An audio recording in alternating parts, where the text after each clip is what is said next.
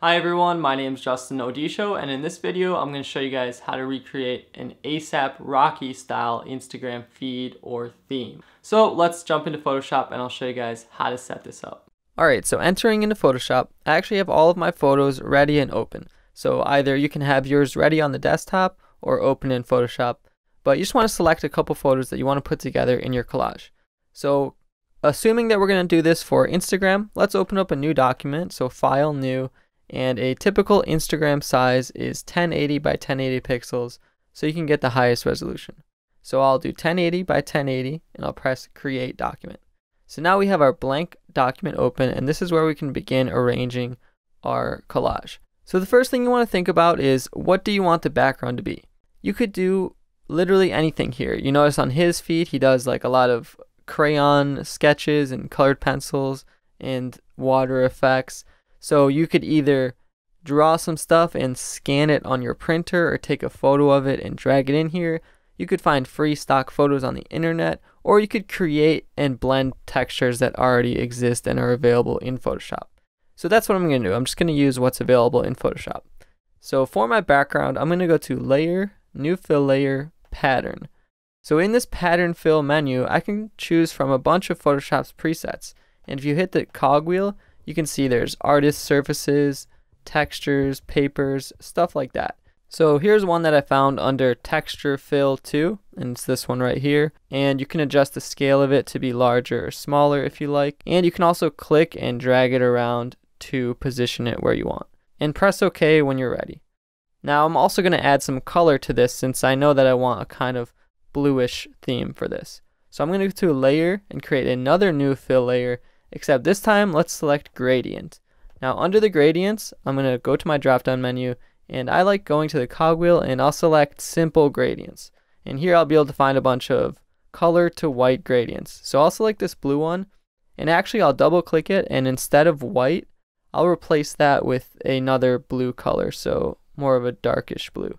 And I'll press OK. You can adjust more things in this menu like the style of gradient, radial, the scale of it and the positioning of it, just like the other fill layers, and press OK when you're happy with your gradient. But what I'm actually doing with this is I'm going to set it onto a blending mode like overlay, soft light, or multiply to add a little bit of color mixed in with that texture. So I'll set it to multiply, I like how that looks, and I'll turn the opacity down to about 75%. Alright, so now let's create our frames for us to drag our photos into. So I'm going to go to Layer, new layer. Now at this point, keep in mind, there's tons of free templates that people provide on stock websites, like Polaroid picture templates, and even like Adobe Stock is pushing a whole bunch of templates in this new version of Photoshop. But I'll show you how to create it from scratch using Photoshop's default brushes. So grab your brush tool on this new layer, and if you go to your default brushes and scroll all the way down, if you don't see this, click the cogwheel and reset brushes, press OK. If you scroll all the way down, you should see some of these weird grainy brushes. So if you select this last one, which is kind of like a noise or rough brush, you can actually paint in a kind of a frame for where you want your picture to be. So I know I have three photos, so I'm just using the default white color. It doesn't matter what color you use.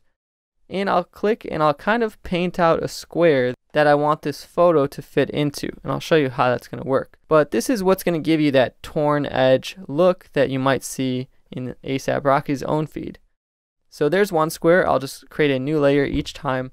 And I'll create three more squares for me to position the photos into. Also keep in mind you're arranging a collage. So just like you would be doing it by hand, you want to consider things like shape and balance and weight and things like that. Remember also that you can move around these different squares once you're done.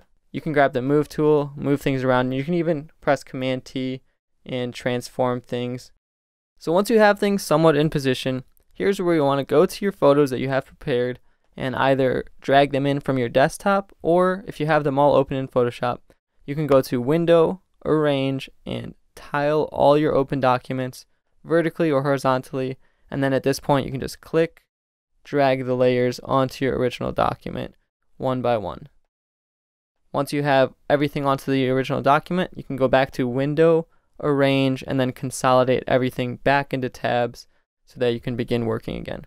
So these photos that I had were a lot larger than the 1080 by 1080 document. So what I'm first going to do is press Command T and then just find a corner of the photo and then holding shift I can scale things down.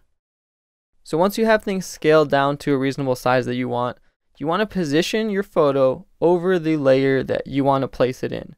So if I want to place this in this first bottom layer, I can position it directly on top and then go to layer, create clipping mask. And what that's going to do is it's going to place this photo within the bounds of that shape layer right underneath it. So now you can move it around and place it and it's going to stay in that layer. So next you just want to repeat that same process with the remaining photos. And this time I'll just use the shortcut Option Command G to create that clipping mask and position things. From here, if you actually just hold shift and grab both of the two layers at once, you can move things around and reorganize them. So if I wanted this layer to be behind this layer, I can grab both of those layers and move everything underneath and then position things that way.